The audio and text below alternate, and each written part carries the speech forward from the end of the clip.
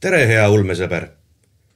sa hakkad kuulama ulme ja õudusjutu vestmis podcasti Tumedad tunnid järjekordset osa.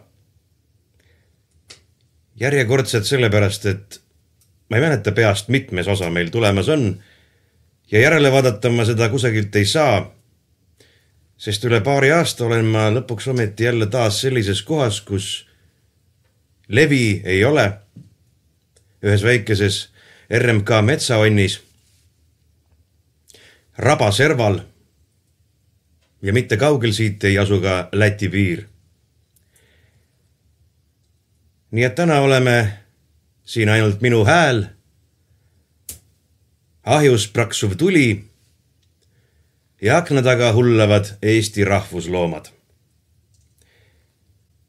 ja sellesse õhtusse olen ma valinud loo, mis pärineb kogumikust Hirmu ja õuduse jutud üks, koostanud Raul Sulbi, välja antud kirjastuses Fantaasia aastal kaks tuhat viisteist.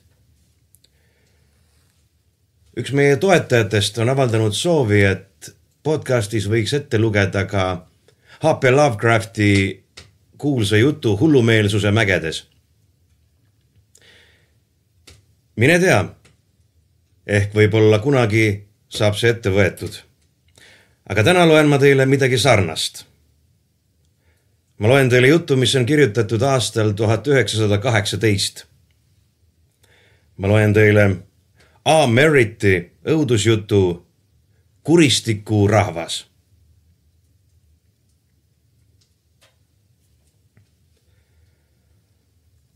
meist põhja pool sööstis üles valgusvihk umbes poole seniidini. see tuli viie mäetipu tagant. kiir lendas taevasse läbi sinisest hägust samba, mille servad olid nii teravad nagu äikesepilvest alla langeval vihmal. see oli otse kui prožektori kiire sähvatus läbi asuurse udu. see ei heitnud varju. kui see üles lahvatas, joonistusid mäetipud reljeefselt ja tumedalt välja ning ma nägin, et kogu mäekobar on labakäekujuline. valgus tõi selle silueti esile, nii et hiigelsuured sõrmed sirutusid välja ja käsi näis ettepoole tõukuvat. paistis täpselt nii, nagu oleks see liikunud selleks, et midagi tagasi lükata. särav valgusvihk püsis hetke paigal, siis purunes lugematuteks väikesteks helendavateks kerakesteks mis kiikusid sinna-tänna ja langesid aeglaselt. Need näisid midagi otsivat. mets oli väga vaikseks jäänud. kõik puud hoidsid hinge kinni. ma tundsin, kuidas koerad end vastu mu jalgu suruvad. ka nemad olid vaiksed. aga kõik lihased nende kehas värisesid. karvad olid kuklal turris ja langevatele valguskeradele naelutatud silmis läikis surmahirm. heitsin pilgu Andersonile. tema vaatas põhja suunas, kus kiir oli taas taevasse sööstnud. Need ei saa olla virmalised, ütlesin huuli liigutamata.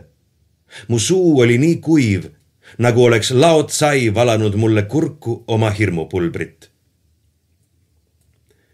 kui on siis ma pole midagi sellist kunagi näinud, vastas ta samal toonil. pealegi, kes on kunagi kuulnud virmalistest sellisel aastaajal? ta oli öelnud välja mõtte, mis mul endal peas kumises. see viib mu mõtted sellele, et seal üleval peetakse mingisugust jahti, ütles ta. ebaloomulikku jahti on parem, kui me sealt kaugemale hoiaksime.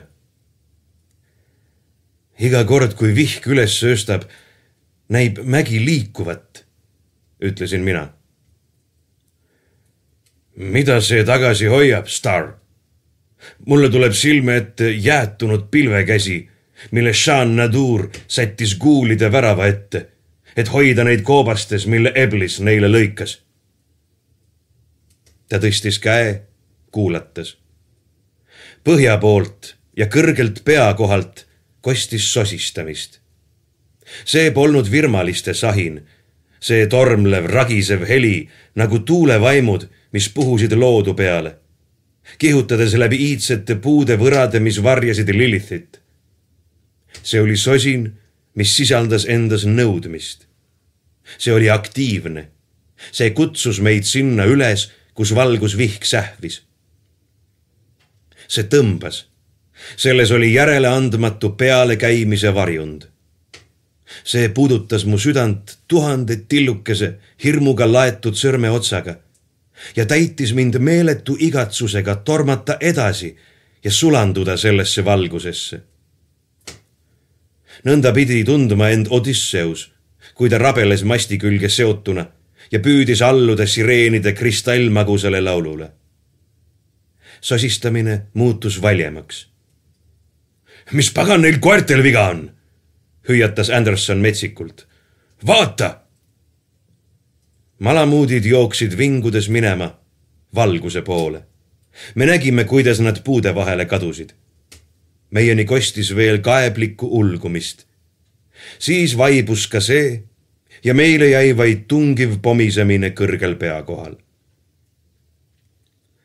Lagendik, kus me olime end laagrisse seadnud, avanes otse põhja poole minu hinnangul olime jõudnud kolmesaja miili kaugusele Kos-Kokwimi Yukoni poolsest esimesest suurest käänakust. kindlasti olime kõnnumaal, kuhu inimese jalg polnud astunud.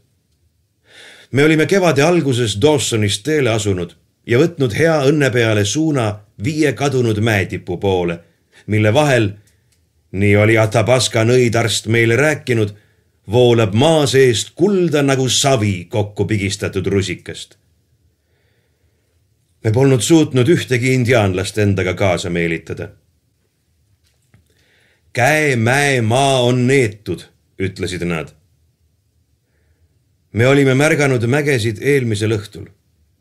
Nende tipud joonistusid ebamääraselt pulseeriva helenduse taustal ja nüüd nägime valgust, mis oli meid nende juurde juhtinud. Anderson kangestus. läbi sosistamise oli tunginud kummaline pats-pats heli ja sahin. see kõlas nii, nagu oleks väiksemapoolne karu meie poole liikunud. ma viskasin lõkkesse puid juurde ja kui leegid üles lahvatasid nägin midagi põõsastest välja ilmuvat. see kõndis neljal jalal, ent kõnnak ei olnud karu oma. ühtäkki turgatas mulle pähe mõte.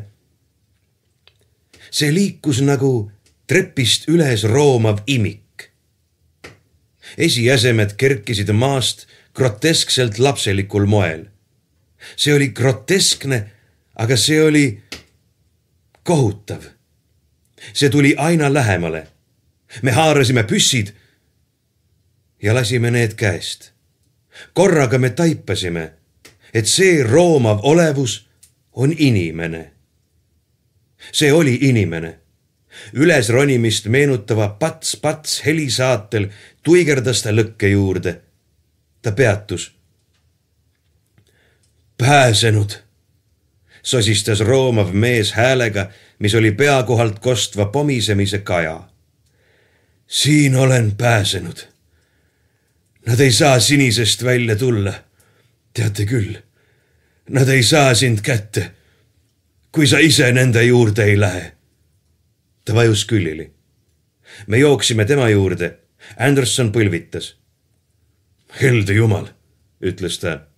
Frank, vaata seda ta osutas mehe kätele. Randmete ümber olid tugevast materjalist särgi katki rebitud räbalad.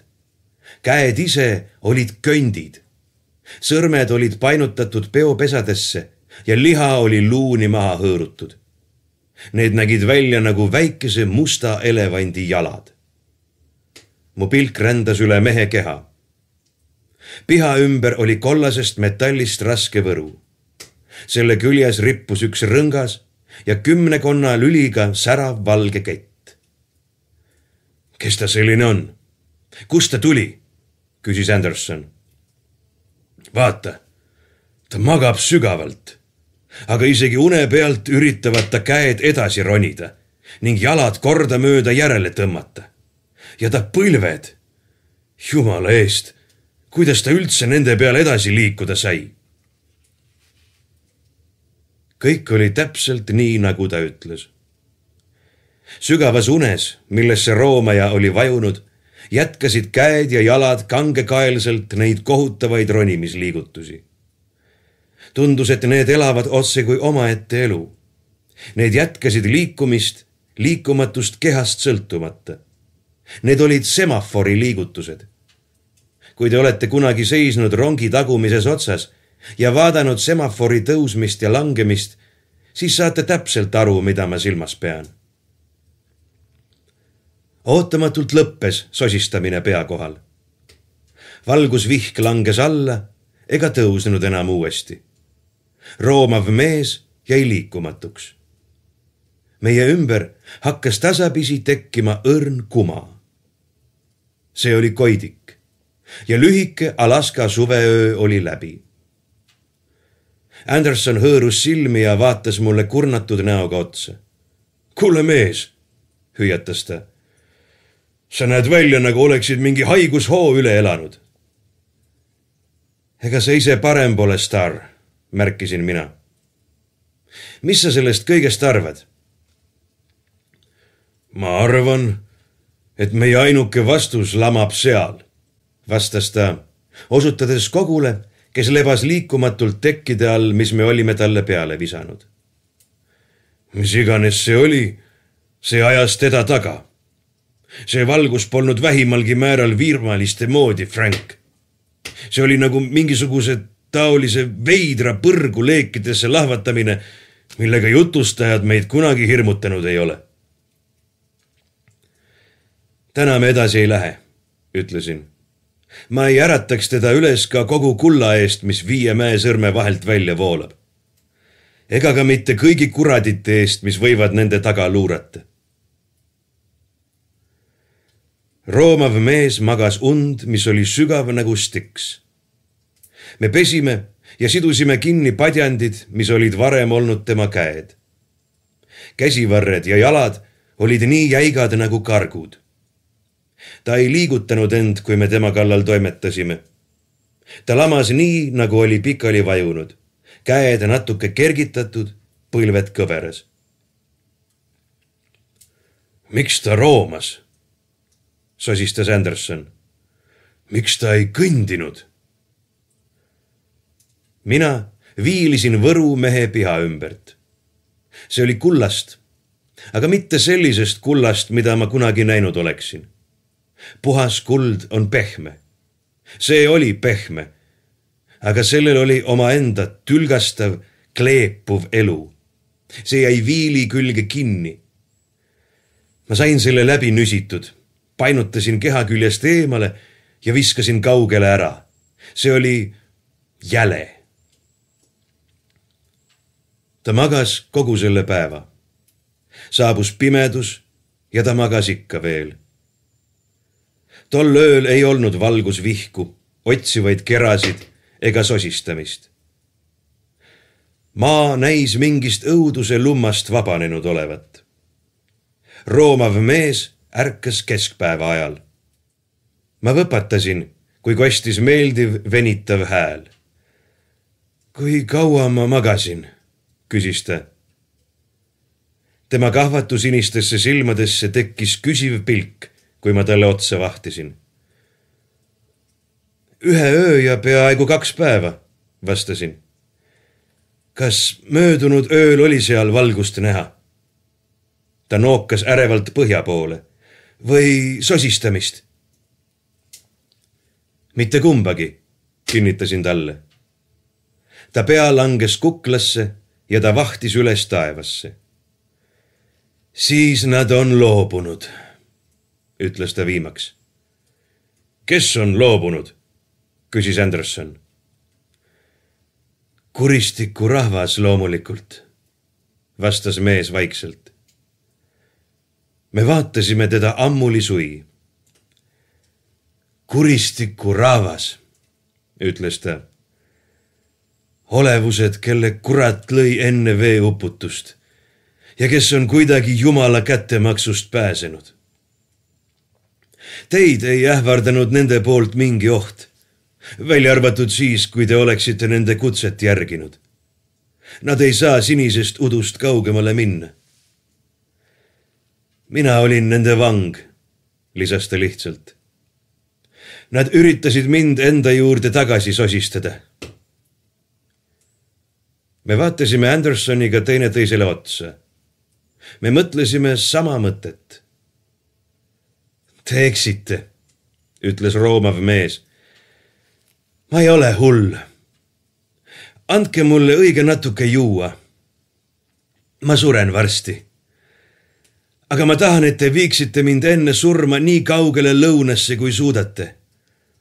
ja ma tahan, et te teeksite hiljem suure lõkke ja põletaksite mu ära ma tahan olla sellisel kujul, et ükski nende põrgulik loits ei saaks mu keha nende juurde tagasi vedada. ja te teete seda, kui ma olen teile nendest rääkinud. ta kõhkles. ma saan aru, et nende ketti ei ole enam minu küljes, ütles ta. ma lõikasin selle maha, vastasin lühidalt olgu jumal ka selle eest tänatud, sosistas roomav mees. ta jõi veega lahjendatud brändit, mis me ta huultele tõstsime. käed ja jalad täitsa surnud, ütles ta. sama surnud nagu varsti ma isegi. aga nad teenisid mind hästi. nüüd ma ütlen teile, mis seal üleval selle käe taga on põrgu. Kuulake mind nüüd. mu nimi on Stanton, Sinclair Stanton, Yale'i ülikool tuhat üheksasada, maadeuurija. ma asusin Dawsonist teele möödunud aastal, et otsida üles viis mäetippu, mis tõusevad käelabana kummitusliku kõnnumaa kohale ja mille vahelt voolab puhast kulda. Teie ajasite vist ka sama asja taga seda ma arvasin. Eelmise aasta sügise lõpul mu kaaslane haigestus. saatsin ta koos mõne indiaanlasega tagasi. veidi hiljem jooksid kõik mu indiaanlased minu juurest minema.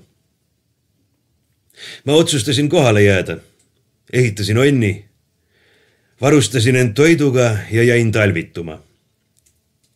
kevadel asusin taas teele vähem kui kaks nädalat tagasi nägin ma viite mäetippu. aga mitte siitpoolt, teiselt poolt. andke mulle veel brändit.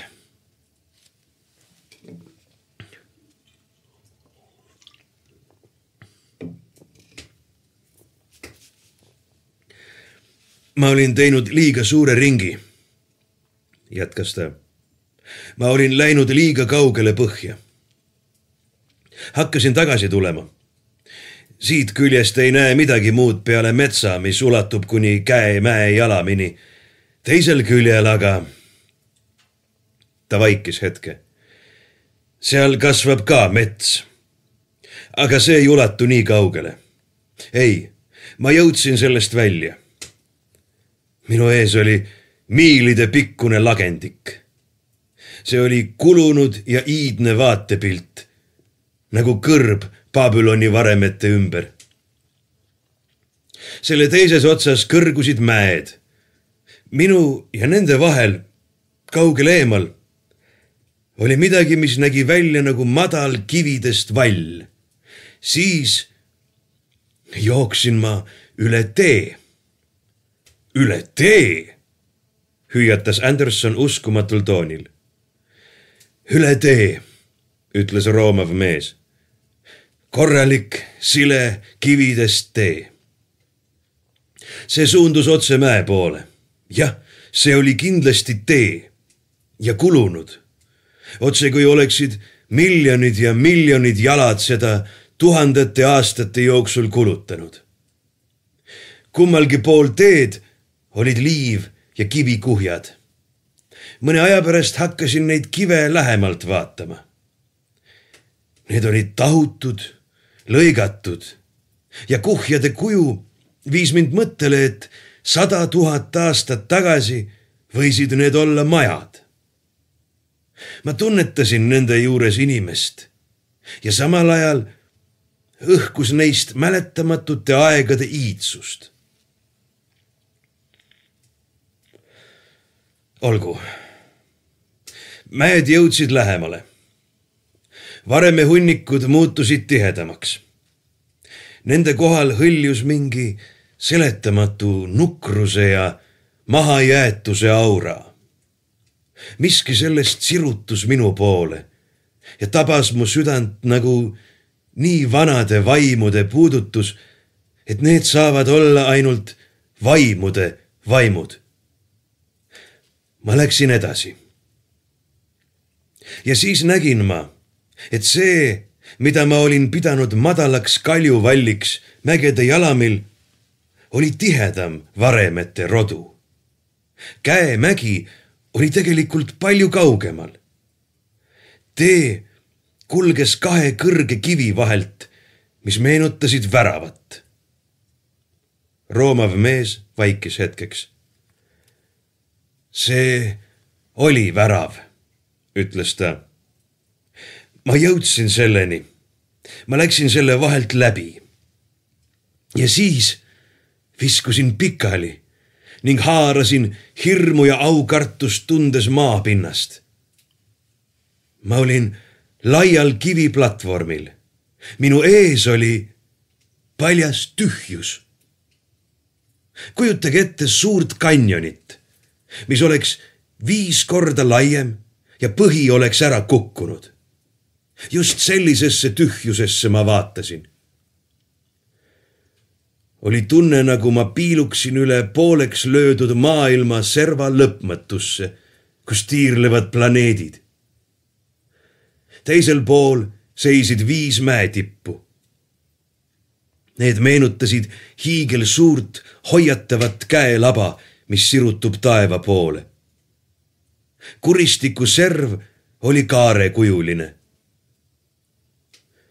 Ma nägin ehk tuhande jala sügavusele, siis varjas tihe sinine hägu vaatevälja. see oli selline sinine, mida võib videviku ajal näha kogunemas kõrgete mägede ümber. ja kuristik. see oli määratu. määratu nagu maooride ranalaki sügavik, mis eraldab elavaid ja surnuid ning millest ainult äsja vabanenud hingel on jõudu üle hüpata. aga mitte iialgi enam jõudu tagasitulekuks. ma roomasin serva pealt tagasi ja tõusin püsti ma olin nõrk. mu käsi nõjatus ühele väravasambale. sellel oli nikerdus. see tõi endiselt reljeefsete joontega esile heroilises poosis mehe kuju. ta oli minu poole seljaga. ta oli käed laiali sirutanud. ta kandis kummalist teravadipulist peakatet vaatasin teist väravasammast. sellel oli täpselt samasugune figuur. väravakivid olid kolmnurkse kujuga ja nikerdused olid sügavikust teisele poole jääval küljel. Mehe kujud näisid midagi, kedagi tagasi hoidvat. ma vaatasin lähemalt. laiali aetud käte taga tundusid seisvat veel mingid kogud Need olid ebamäärase kujuga. ootamatult tundsin seletamatut vastikust. mul oli tekkinud korraga mulje hiigelsuurtest püstiseisvatest nälkijatest. Nende paisunud kehad olid väga nõrgalt välja lõigatud, välja arvatud pead, mis olid selgelt nähtavad kerad. Need olid kirjeldamatult jäledad. ma astusin väravate juurest tagasi tühjuse ette. ma heitsin kiviplatvormile pikali maha ja vaatasin üle serva alla. sügavikku viis trepp. trepp, karjatasime meie. trepp, kordas roomav mees sama kannatlikult kui varem. see ei tundunud olevat mitte niivõrd kaljust välja tahutud, kui selle sisse ehitatud.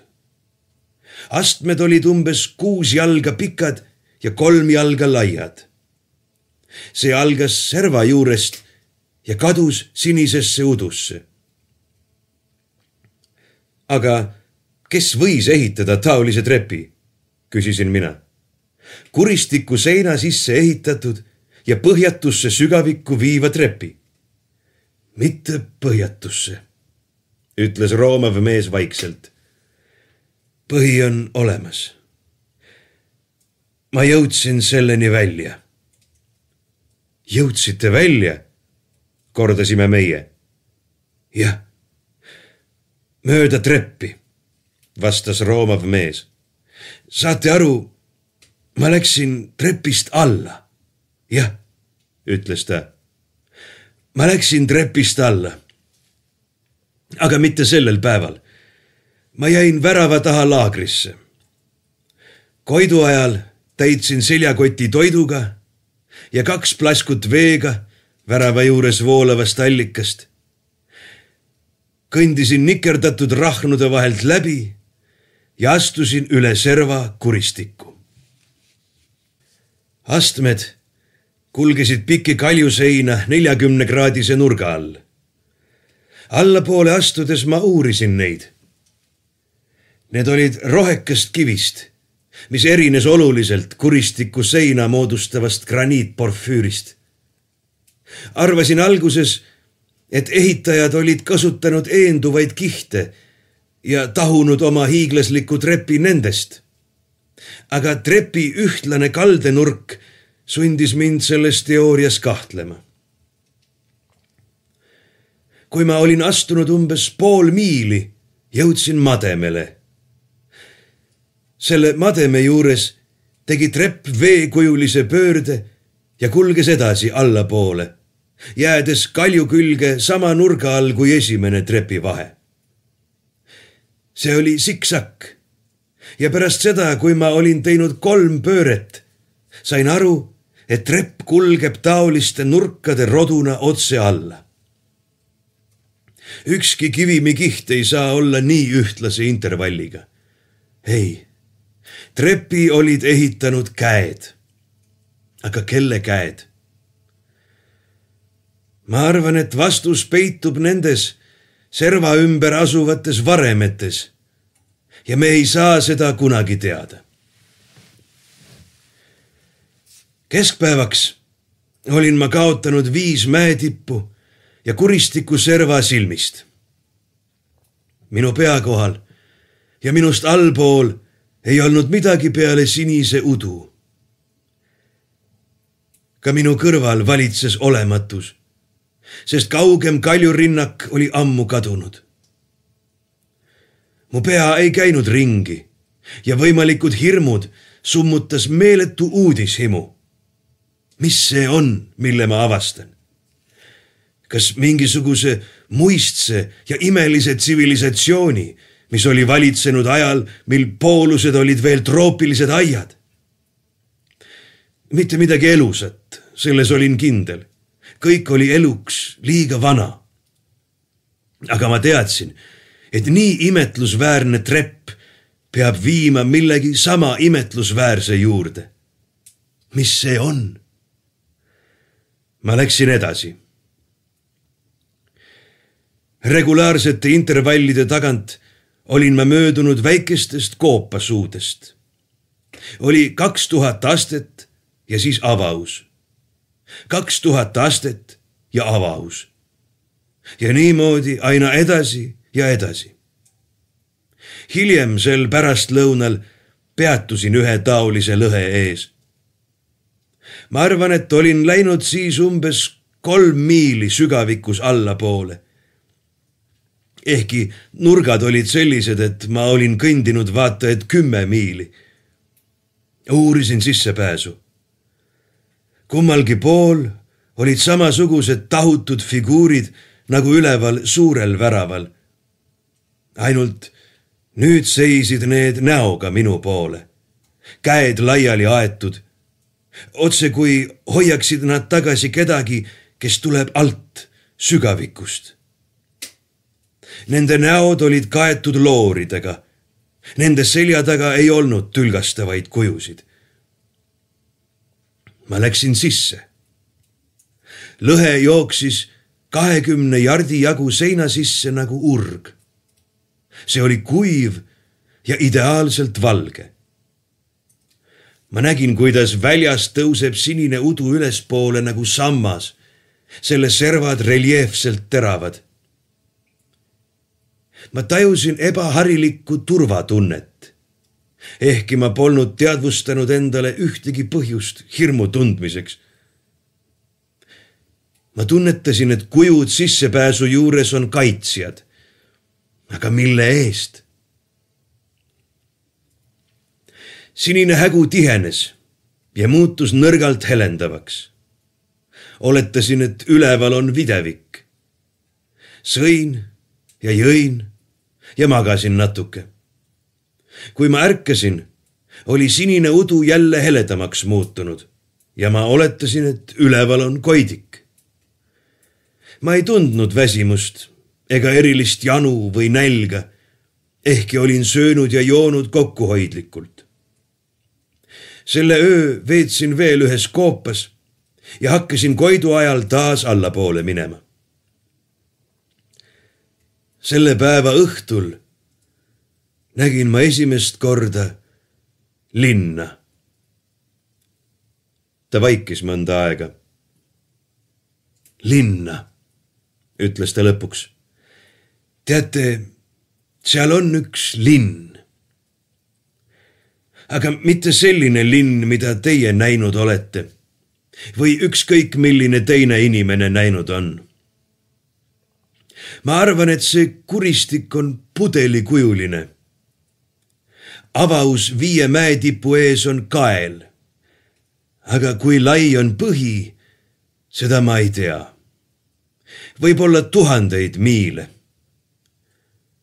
ma olin hakanud märkama kaugel all sinise sees väikeseid välgatusi. siis nägin ma puude latvu, kui neid saab nimetada puudeks.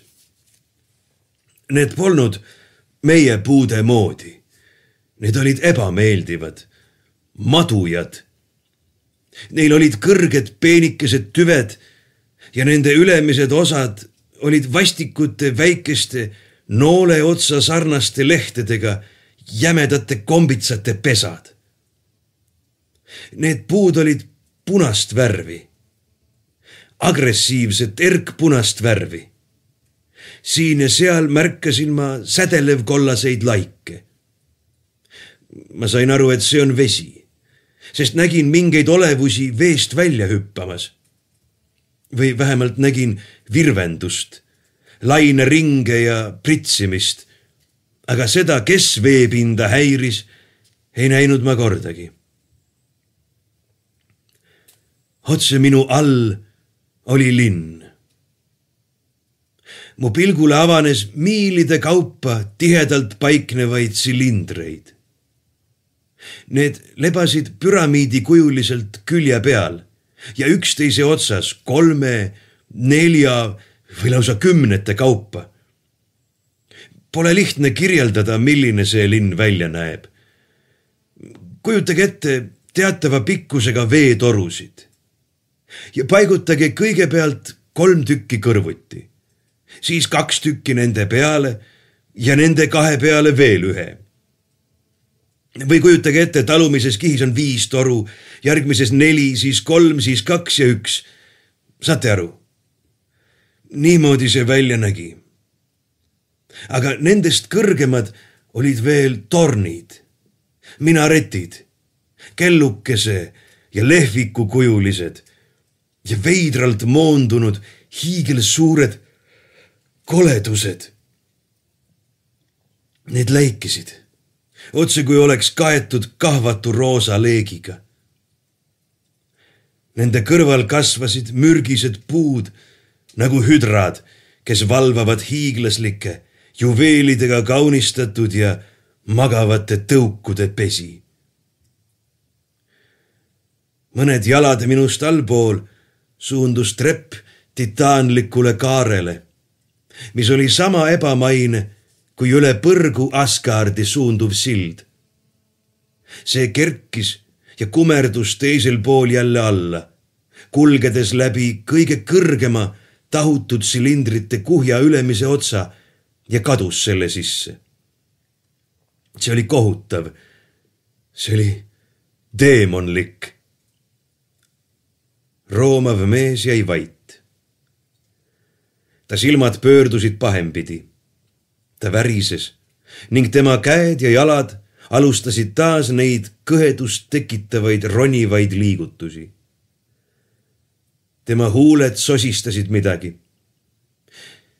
see oli kaja sellest kõrgelt kostnud sosinast, mida me olime kuulnud tol õhtul, kui ta meie juurde tuli. Ma katsin ta silmad käega. ta rahunes. Need, neetud olevused, ütles ta. kuristiku rahvas. ma sosistasin jah, aga nad ei saa mind enam kätte. Nad ei saa. mõne aja pärast jätkas ta sama vaikselt kui enne. Ma kõndisin üle kaare. ma läksin läbi selle ehitise ülemise osa jälle alla. hetkeks ümbritses mind sinine pimedus ja ma tundsin, kuidas astmed keerduvad spiraaliks. ma läksin mööda spiraali alla ja siis ma seisin kõrgel. ma ei oska teile öelda, mis asja sees. Ma pean nimetama seda toaks. meil pole kujutluspilte selle kohta, mis seal kuristikus on. minust sada meetrit allpool oli põrand. seinad kumerdusid minu juurest mitme laieneva poolkaarena alla ja väljapoole. see koht oli kolossaalsete mõõtmetega ja seda täitis kummaline laiguline punane valgus. see oli nagu valgus roheliste ja kuldsete täppidega punase opaali sees ma läksin alla, kus trepiastmed lõppesid. kaugemal minu ees kerkis kõrge sammastega altar. selle piilaritele olid nikerdatud koletislikud rullid, otse kui tuhandete purjus kombitsatega hullud kaheksajalad sambad toetusid karmiinpunastesse kividesse tahutud kujuta koletistesse.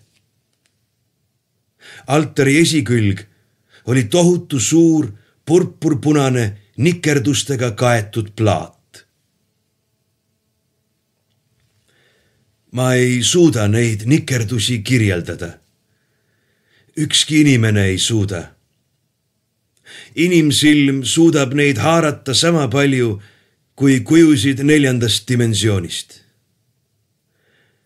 ainult mingi tundliku meele abil kusagil aju tagasopis tajusin neid ebamääraselt. Need olid kindla vormita kujutised, mis ei tekitanud tajutavat pilti. ent ometi jäid neist ajusse jäljed nagu väikesed kõrvetavad pitserid, ideed vihkamisest, võitlustest kujuteldamatute olevuste vahel võitudest auravate rüvedate džunglite uduses põrgus, mõõtmatult tülgastavatest ihadest ja ideaalidest. Ja seal seistes hakkasin tajuma midagi, mis lebas altari serva taga, minust viiskümmend jalga kõrgemal. ma teadsin, et see on seal ma tunnetasin seda iga ihukarva ja iga väikseimagi keharakuga. midagi lõpmatult kurja, lõpmatult võigast, lõpmatult iidset. see varitses, see haudus plaane, see ähvardas ja see oli nähtamatu. minu selja taga oli sinise valguse sõõr. ma jooksin selle poole miski sundis mind tagasi pöörama, trepist üles minema ja põgenema. see oli võimatu. Vastumeelsus selle nähtamatu olevuse vastu ajas mind edasi, otse kui oleks veevool mu jalad kaasa haaranud. ma jooksin sõõrist läbi. ma olin tänaval, mis ulatus nikerdatud silindrite ridade vahel hägusesse kaugusse siin-seal kasvasid punased puud nende vahel ümarad kivist urud. ja nüüd oli mul võimalus vaadata hämmastavaid ornamente, millega need kaunistatud olid. Need olid nagu maha kukkunud, siledaks kooritud puutüved, mis olid kaetud kõrgele küünituvate mürgiste orhideedega. jah, need silindrid olid taolised ja veel enamatki Need oleksid pidanud lõpetama oma eksistentsi koos dinosaurustega. Need olid ebardlikud. Nad tabasid nägemist otse kui löögina näkku ja liikusid rasplina üle närvide. ja mitte kusagil polnud ainsatki märki elavast hingest. silindrite sees olid sõõrikujulised avaused, nagu see sõõr trepitemplis kõndisin läbi ühe silindri. ma olin pikas tühjas võlvkambris, mille kumerad seinad said kokku kahekümne jala kõrgusel mu peast. jättes lahti avara lõhe, mis avanes järgmisse võlvkambrisse korrus kõrgemal. selles ruumis ei olnud absoluutselt midagi peale sellesama laigulise punaka valguse, mida olin näinud templis ma komistasin. ma ei näinud endiselt midagi. Aga põrandal oli midagi, mille otsa olin koperdanud. sirutasin käe ja see puudutas midagi külma ja siledat, mis liigutas end käe all. keerasin ringi ja jooksin sealt välja. mind täitis tülgastus, milles oli midagi hullumeelset ma jooksin ja jooksin pimesi edasi, käsi väänates, õudusest nuttes. kui ma teadvusele tulin, olin endiselt kivisilindrite ja punaste puude vahel. proovisin tuldud teed tagasi minna ja templi üles otsida. ma mitte lihtsalt ei kartnud ma olin nagu äsja kehast vabanenud hing, mis on põrgu esimeste katsumuste peale paanikasse sattunud. ma ei suutnud templit leida. siis hakkas udu tihenema ja helendama. silindrid veel eredamalt kumama. ma teadsin, et ülailmas on saabunud hämarus. ja ma tundsin, et koos selle hämarusega olid saabunud ka mulle ohtlikud hetked. Et udu tihenemine oli äratuskell neile olevustele, kes iganes selles sügavikus elasid. ma ronisin mööda ühe uru külge üles ja peitsin end luupainajalikult väändunud kivi taha. ma mõtlesin, et äkki on võimalik peitu jääda, kuni sinine heledamaks muutub ja hädaoht möödub minu ümber hakkas valjenema pomisemine. see oli igal pool ja see valjenes ja valjenes häälekaks sosistamiseks. piilusin kivi tagant tänavale. nägin mööduvaid ja jälle tagasi pöörduvaid tulesid. üha rohkem tulesid. Need ujusid välja ringikujulistest ukseavadest ja tunglesid tänaval kõige kõrgemad neist liikusid umbes kaheksa jala kõrgusel sillutisest, madalamad ehk kahe jala kõrgusel. Nad kiirustasid, nad liikusid aeglaselt, nad kummardusid, nad jäid seisma ja sosistasid. ja nende all ei olnud midagi. mitte midagi nende all, ahmis Anderson õhku. jah, jätkas mees see oligi see kõige kohutavam. Nende all ei olnud midagi. ent kindlasti olid need tuled elusolendid. Neil oli teadvus, tahe, mõtlemine, ma ei tea, mis kõik veel. Nende läbimõõt oli umbes kaks jalga, kõige suurematel. Nende keskel oli ere tuum, punane, sinine, roheline see tuum tuhmus aeglaselt uduseks kumaks, mis ei kustunud järsult. ka see näis hääbuvat olematusse. aga olematusse, mille all on midagi elavat. ma pingutasin silmi, et näha seda keha, mille sisse tuled hääbusid ja mille olemasolu võis ainult tunnetada. aga ma ei näinud.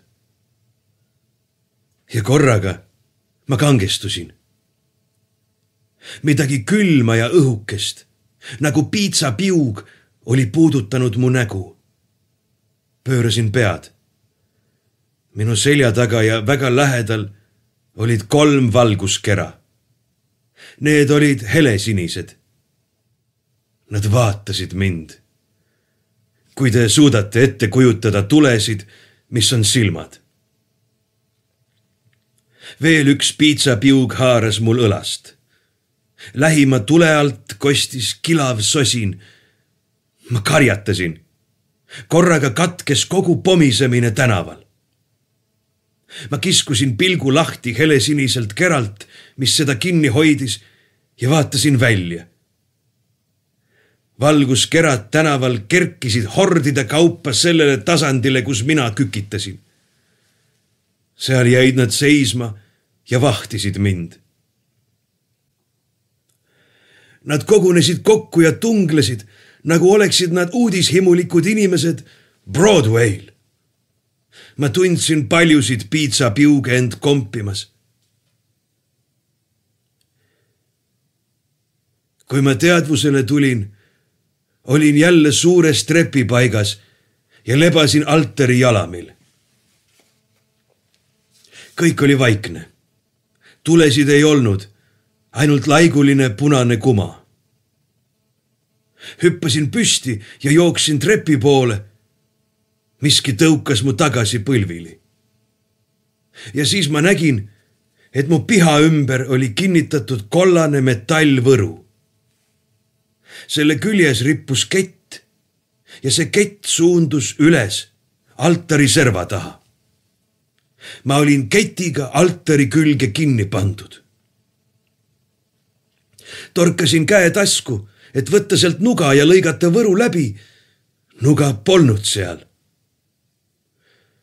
ma olin ilma jäetud kõigest peale ühe plasku, mille ma olin endale kaela riputanud ja mida nad pidasid minu arvates minu osaks. proovisin rõngast katki murda. see tundus elusana.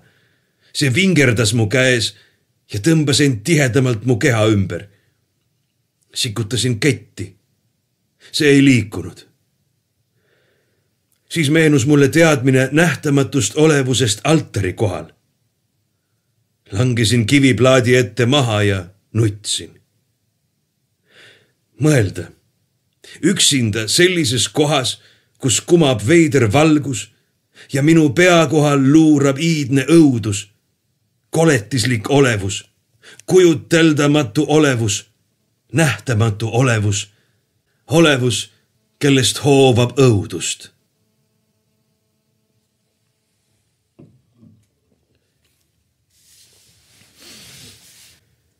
mõne aja pärast võtsin end kokku. siis märkasin ühe samba kõrval kollast kaussi, mis oli täis paksu kollast vedelikku. ma jõin seda. kui see oleks mind tapnud, poleks see mind häirinud aga selle maitse oli meeldiv ja juues tuli jõud kiiresti kehasse tagasi. kindlasti ei tahetud mind näljutada. tuledel, mida iganes nad endast kujutasid, oli teadmisi inimese vajadustest. ja siis hakkas punakas laiguline valgus sügavamaks muutuma. väljas kostis ümisemist ja läbi sõõrikujulise sissekäigu hakkas kerasid sisse voolama. Nad paigutusid ridade kaupa, kuni kogu tempel oli neid täis. Nende sosistamine muutus palvelauluks, rütmiliseks sosistavaks loitsuks, mis valjenes ja muutus vaiksemaks, valjenes ja muutus vaiksemaks. ja kerad muudkui tõusid ja langesid selle rütmi järgi läbi kogu selle öö tuled saabusid ja lahkusid. ja läbi kogu selle öö lauldi tõustes ja langedes palvelaulu. lõpuks tajusin ma ennast ainult teadvuse aatomina rütmilises sosinate meres. aatomina, mis tõusis ja langes koos kummardavate keradega. ma ütlen teile, et isegi mu süda tuksus nendega ühes rütmis punane helendus hakkas tuhmuma. tuled voolasid välja, sosistamine vaibus. ma olin jälle üksi ja ma teadsin, et taaskord oli mu oma maailmas alanud päev. ma magasin. kui ma ärkasin, leidsin samba kõrvalt veel valget vedelikku. uurisin ahelat, mis mind altari küljes kinni hoidis hakkasin kahte lüli vastamisi hõõruma. tegin seda mitu tundi järjest. kui punane kuma hakkas tihenema, oli kummaski lülis vagu sees. lootus tõstis minu sees pead. tähendab, oli võimalus põgeneda. koos atmosfääri tihenemisega saabusid jälle tuled sosistav palvelaul kestis kogu öö ja ümmargused valguskerad tõusid ja langesid. see palvus haaras mind endaga kaasa. see pulseeris läbi minu, kuni iga viimane närv ja lihas värisest selle taktis kaasa. mu huuled hakkasid värisema. Need liikusid nagu mehel, kes üritab õudusunenäos karjuda. ja lõpuks sosistasid ka minu huuled kuristiku rahva palvet. mu keha tegi kummardusi tuledega ühes taktis. ma olin oma liigutuste ja häälte kaudu üks nende nimetute olevustega, ehkki mu hing tõmbus õudusest ja jõuetusest kokku. sellal, kui ma sosistasin, nägin ma neid. nägite tulesid küsisin rumalalt vahele. nägin olevusi tulede all, vastas ta. suuri läbipaistvaid njäl-, nälkjalaadseid kehasid. Neist eemalduvaid kümneid sirutuvaid tundlaid, ümmargusi avatud suid helendavate ja nägemisvõimeliste kerade all. Need olid nagu kujuteldamatult koletute tigude vaimud. ma nägin neist läbi. ja kui ma niimoodi vahtisin, kummardasin ja sosistasin, saabus Koit ja nad voolasid väljapääsu poole ja sealt välja. Nad ei roomanud ega kõndinud. Nad hõljusid. Nad hõljusid ja olid kadunud ma ei maganud. ma toimetasin kogu selle päeva oma keti kallal. punase udu tihenemise ajaks olin sellest kuuendiku läbi hõõrunud.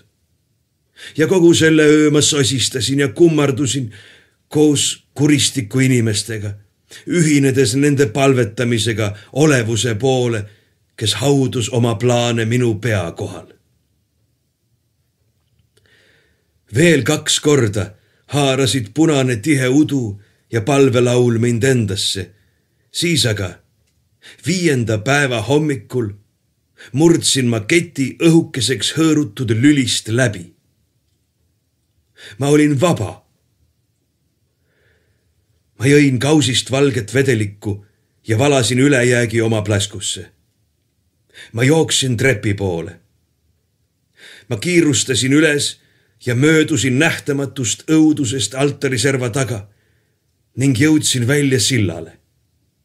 ma tormasin üle kaare ja trepist üles. kas te kujutate ette, mis tähendab ronida otse üles mööda pooleks löödud maailma seina, kui selja taga on põrgu?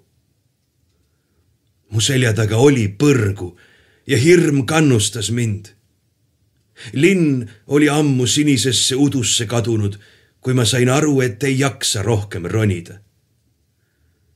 mu süda peksis kõrvades nagu sepahaamer.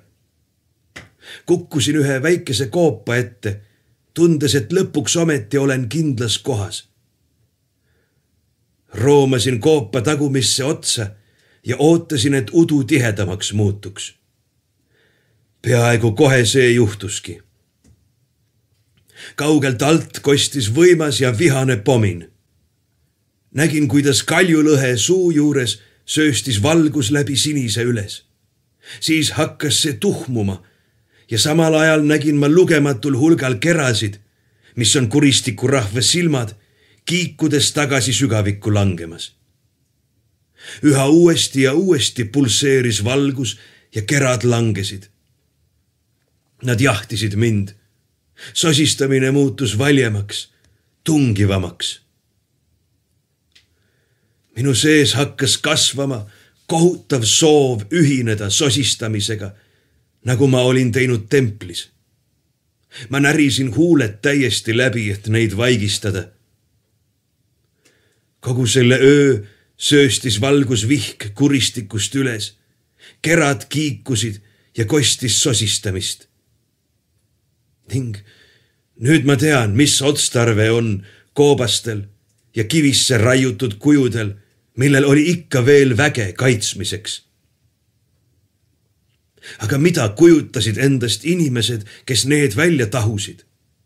miks olid nad ehitanud linna sügaviku servale? ja miks olid nad ehitanud kuristikku selle trepi?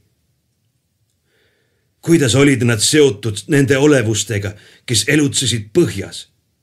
Ja mis kasu oli neil olnud olevustest, et nad pidid elama nende elukoha kõrval? kindel on see, et sellel pidi olema mingisugune eesmärk. mingil juhul poleks muidu ette võetud nii tohutut tööd nagu selle trepi ehitamine. aga mis see eesmärk oli? ja miks on nii, et need, kes elasid kuristiku ümber, surid juba iidsetel aegadel, aga kuristiku põhjas elati ikka edasi. ma ei osanud neile küsimustele vastust leida. ega oska ka praegu. mul pole isegi kõige algelisemat teooriat. Nende mõtetega saabus ka hommik ja koos sellega vaikus. jõin plasku tühjaks, ronisin koopast välja ja hakkasin taas ülespoole astuma. tol pärastlõunal ei pidanud mu jalad enam vastu. rebisin särgi puruks, tegin sellest põlvedele padjad ja kätele kaitsmed. ma ronisin edasi. ma ronisin aina ülespoole ja ülespoole ja taas pugesin ma ühte koopasse ning ootasin, kuni sinine udu tihenes. sellest sööstis läbi valgusvihk ja algas sosistamine. aga nüüd oli sosistamises uus noot. see polnud enam ähvardav. see kutsus ja meelitas. see tõmbas. taas haaras mind surmahirm minus võttis võimust tugev soov koopast lahkuda ja minna välja, kus õõtsusid tuled. lasta neil teha minuga, mida nad tahavad. viia mind sinna, kuhu soovivad. soov muutus tugevamaks. see kogus iga kiire sähvatusega uut jõudu, kuni ma vibreerisin lõpuks selle käes samamoodi, nagu ma olin vibreerinud templis palvelaulu ajal. Mu keha oli pendel. valgusvihk lendas üles ja mina õõtsusin selle suunas. ainult mu hing jäi paigale. see hoidis mind kindlalt koopa põrandal kinni. ja kogu selle öö võitles see koos mu kehaga kuristiku rahva loitsu vastu. saabus Koidik. Taas ronisin ma koopast välja ja vaatasin treppi. ma ei suutnud tõusta. mu käed olid marraskil ja verised. mu põlved agoonias. ma sundisin end astme haaval ülespoole minema mõne aja pärast muutusid mu käed tundetuks. valu kadus põlvedest, need surid ära. astmekaupa sundis mu tahe nendel liikudes keha ülespoole ronima. ja siis õudus unenägu üles ronimisest mööda lõputuid trepivahesid. mälupildid tuimast õudusest, kui olin peidus koobastes ja tuled pulseerisid väljas ning sosinatest, mis aina kutsusid ja kutsusid. mälupilt hetkedest, kui ma ärkasin ja nägin, et mu keha on allunud kutsele ja vedanud mind pooleldi väravavalvurite vahelt välja ning tuhanded säravad gloobulid hõljumas sinises udus ja mind vaatamas. mälusähvatused painavast võitlusest unega ja kogu aeg, kogu aeg üksainus ronimine ülespoole mööda lõputuid trepiastmeid, mis viisid Abadonist sinise taeva ja avatud maailma paradiisi. lõpuks tunne selgest taevast pea kohal, kuristiku servast mu ees, mälestus kuristiku suure värava vahelt sisseastumisest ja aeglasest kaugenemisest unenäod hiiglaslikest, looritatud nägude ja kummaliste teravatipuliste kroonidega meestest, kes lükkasid mind aina edasi ja tõrjusid tulevärgile sarnanevaid valguskerasid, mis otsisid mind, et tõmmata mind tagasi sügavikku, kus planeedid ujuvad punaste puude vahel, mille võrad koosnevad madudest. ja siis pikk uni. ainult Jumal teab, kui pikk kivirahnude vahel. ja ärkamine ainult selleks, et näha, et valgusvihk põhja pool endiselt tõuseb ja langeb. tuled peavad endiselt jahti ja sosinad kõrgel taevas kutsuvad mind endiselt. taas roomamine surnud kätel ja jalgadel, mis liikusid mis liikusid nagu vana meremehe laev, ilma minu tahteta. Aga nad viisid mind sellest kummituslikust kohast kaugemale. ja siis teie lõke ja see pääsemine. roomav mees naeratas meile korraks. siis kadus elu kiiresti ta näolt. ta magas sel õhtupoolikul võtsime laagri üles ja algas roomava mehe tassimine lõuna poole. me tassisime teda kolm päeva ja tema magas kogu aeg. ja kolmandal päeval ta suri, ilma et oleks unest ärganud. me korjasime kokku suure hunniku puid ja põletasime ta keha, nagu ta oli palunud puistasime tuha koos teda ära põletanud puude tuhaga metsa alla laiali. Peab olema tõeliselt võimas maagia, mis suudaks selle tuha kokku koguda ja tõmmata ta kihutava pilvena tagasi kuristiku juurde, mida ta nimetas neetuks.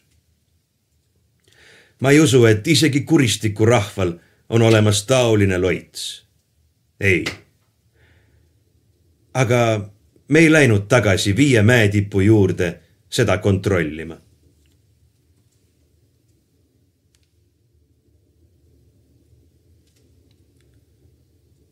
Te kuulsite A. Merritti õudusjuttu Kuristiku rahvas. jutt pärineb kogumikust Hirmu ja õuduse jutud üks, mille on koostanud Raul Sulbi ja välja andnud kirjastus Fantaasia. mina lähen ja lisan nüüd taas ahju puid ja topin ühe piibu. Teiega aga kohtume varsti jälle kõhedate kuulmisteni